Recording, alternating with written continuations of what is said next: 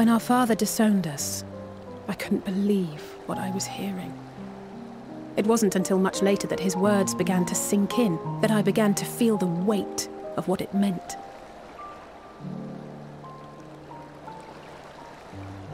Do you remember when the decision was made to come to Sharlayan? G'raha said that the Forum was determined to keep us in the dark, and that Father's venomous performance was part of that strategy to keep us at arm's length. Perhaps it was. Father argued with grandfather on many occasions, but never with such dismissive contempt.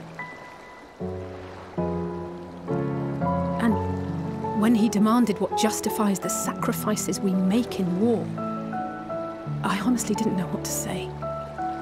Neither did Alphinaud, I know, but never for one moment did I believe we had made the wrong choice. So all I could do was fume silently. It was only afterwards that I realized how childish I had been. How being stubborn and self-righteous must run in the family.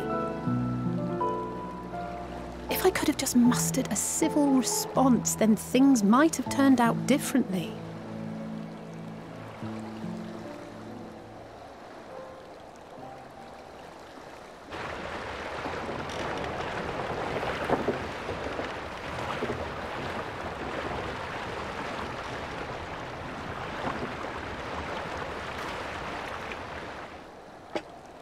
They must be ferrying goods to Labyrinthos.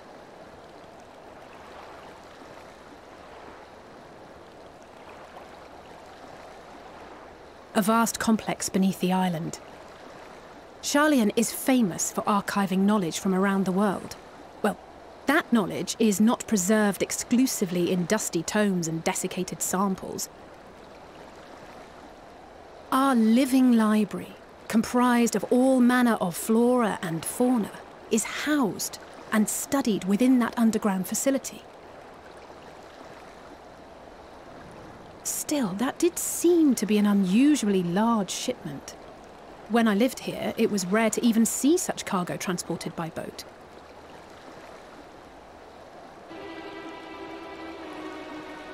Wait! Didn't you hear something in the last stand about the gleaners coming and going more than usual? Well, I think they're the ones we saw manning those boats. And gleaners answer to the Forum. If the appearance of the Telophoroi prompted this sudden burst of activity, then Labyrinthos may hold a clue as to what the Forum is planning.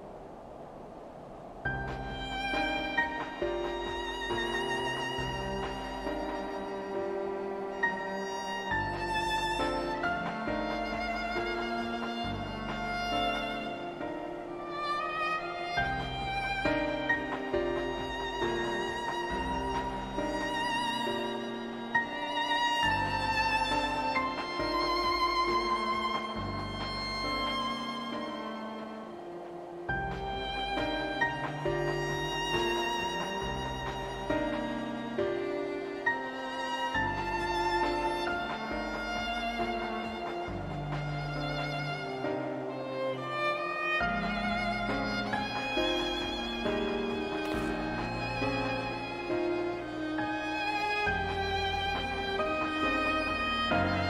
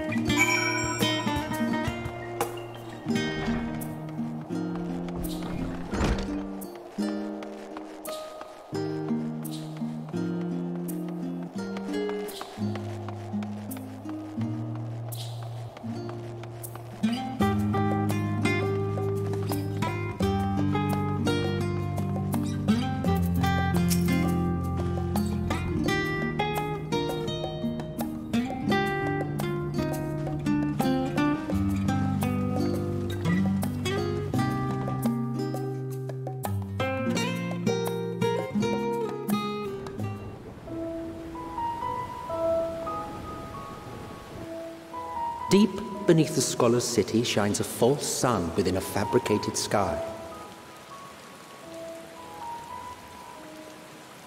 In any age exist those who consider the floor an extension of their bookshelves, and this vault's architects surely belonged to that special breed. If the stack grows too high, start a new one. If no room remains, then make more rooms. A simple solution at first, and then bit by bit, a profound transformation. Knowledge buried beneath knowledge, a growing, creeping labyrinth from which there is no escape.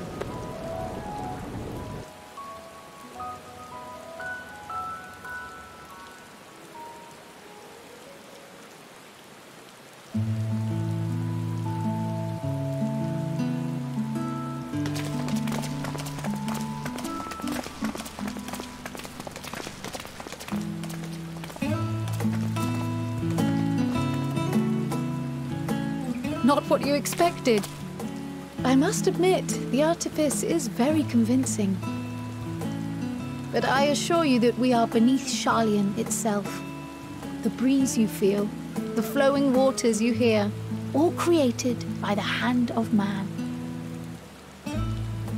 The island is volcanic, you see, and once upon a time this great hollow must have been a reservoir for magma. It was discovered some 400 years ago, at which point it was repurposed as a storage facility for scrolls and samples and such.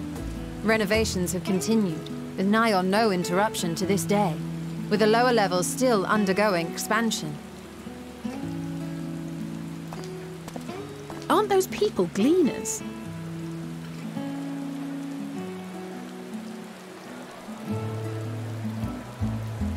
Aye, judging by their dress. They are said to work alone as a rule, but 'twould seem that rule is being enthusiastically broken today. It may be as you suspected, that they are engaged in a task apart from the norm.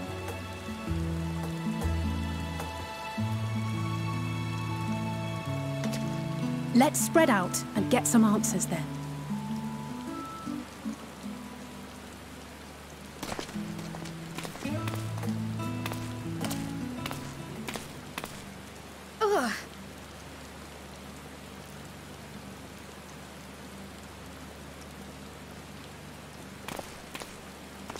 To me just now?